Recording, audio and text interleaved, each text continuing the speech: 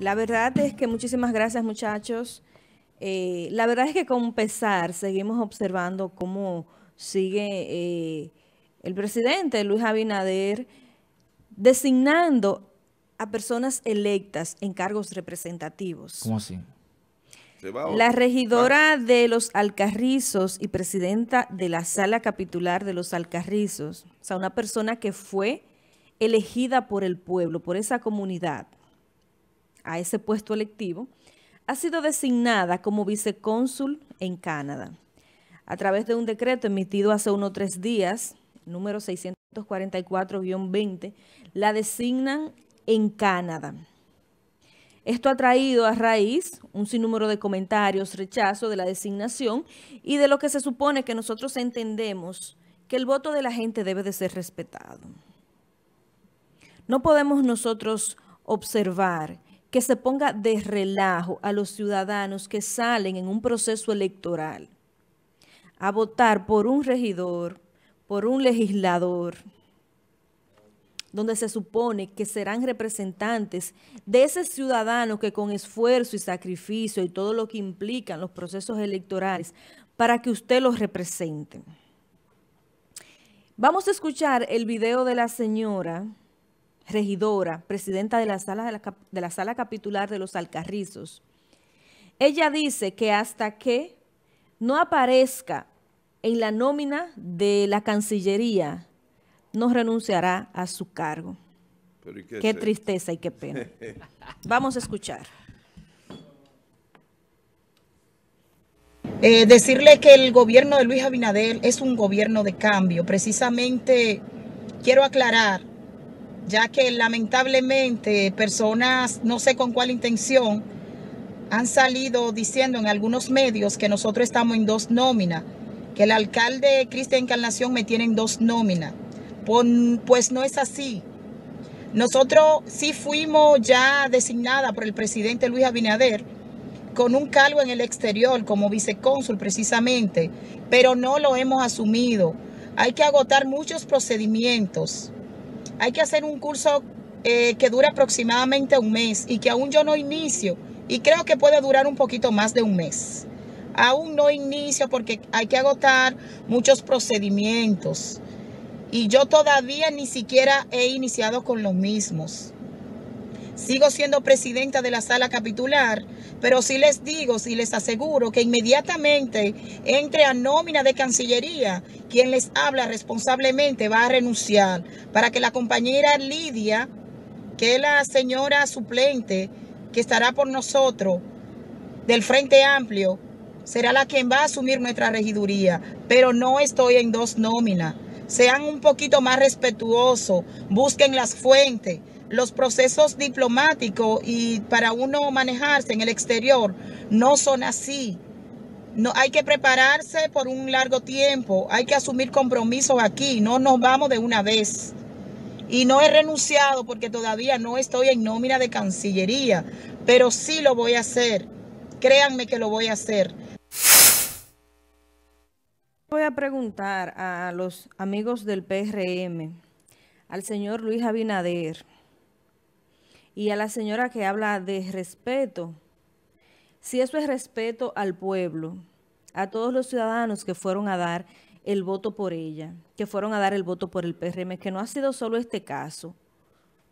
Traemos este porque es el más reciente. Hemos visto que en nuestra provincia pasó lo mismo, pasó lo mismo en Santo Domingo, en nuestra alcaldía una cantidad importante de regidores eh, se han ido a instituciones donde aparentemente tendrán mejores resultados.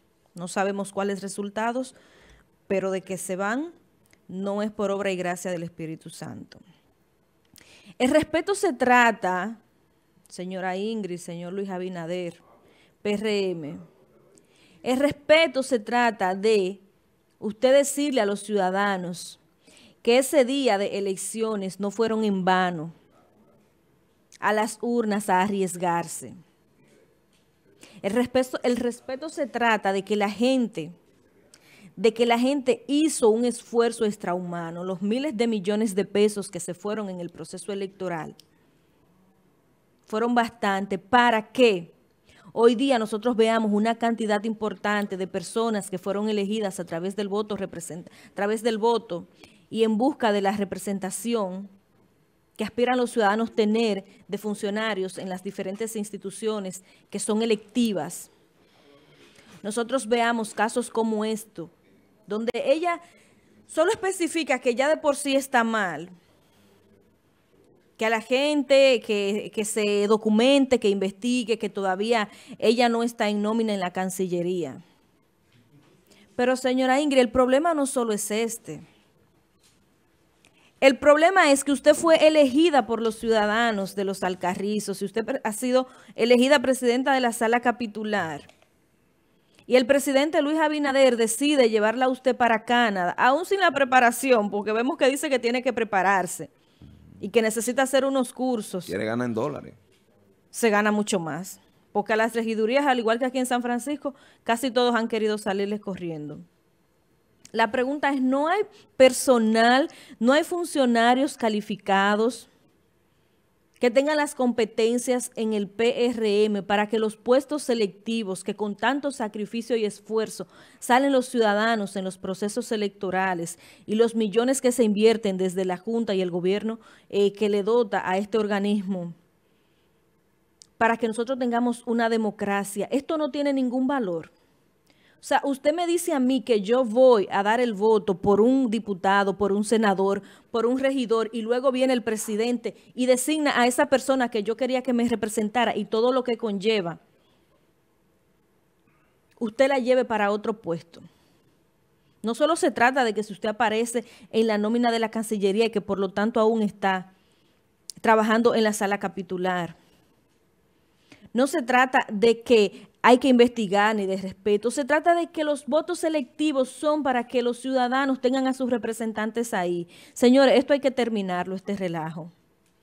La Junta Central Electoral debe de trabajar para que nosotros no podamos, no, no sigamos viendo que cuando terminan los procesos electorales tengamos a ciudadanos que han sido elegidos yéndose a otras instituciones, porque no tiene sentido entonces la elección de los candidatos. ¿Usted se cree que es posible que como ciudadano usted quiera tener a una persona o que haga el esfuerzo de ir a una urna y que luego veamos que han sido designados en, otros, en otras instituciones o en otras representaciones?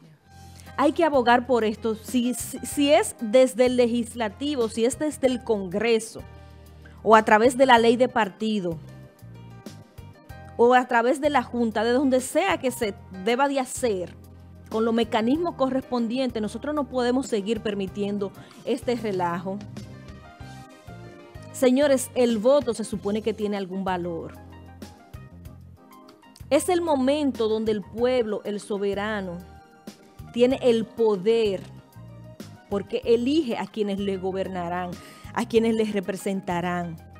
Si tú pones en una balanza la importancia, lo que significa esto para un Estado democrático, y entonces cuando pones en la otra balanza lo que hacen los candidatos elegidos, el mismo presidente de la República, donde la señora empieza, por hay que escucharlo, ella empieza hablando que este es el gobierno del cambio. y ella está cambiando ella está cambiando de un puesto donde le va a ir mucho mejor. Pero el presidente Luis Abinader...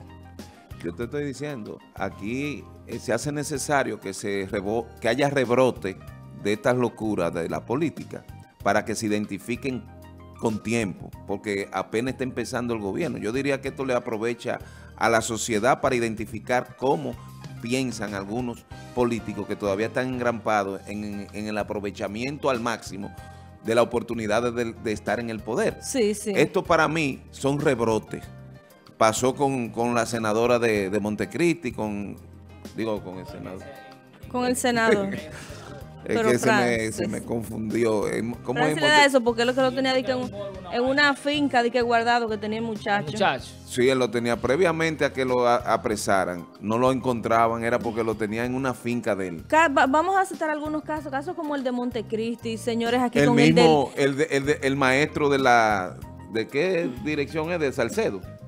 Sí, que Ah, también sí, dijo sí. que iban a que ya había que salir de todo el Ya mundo. llegó el momento de las cancelaciones, que era lo que yo estaba En esperando. San Cristóbal me parece celebrar, que fue. digo, vamos a celebrar. Vamos a en San celebrar. Cristóbal me parece que fue que llegó Pero me a imagino una que le encabeza la lista de los cancelados. que llegó a una institución de medio ambiente do- sacando a la señora que aún no había sido cancelada desde el gobierno.